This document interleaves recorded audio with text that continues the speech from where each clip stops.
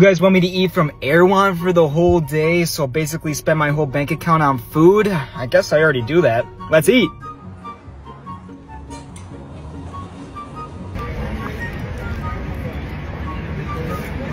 I think this is the coconut one.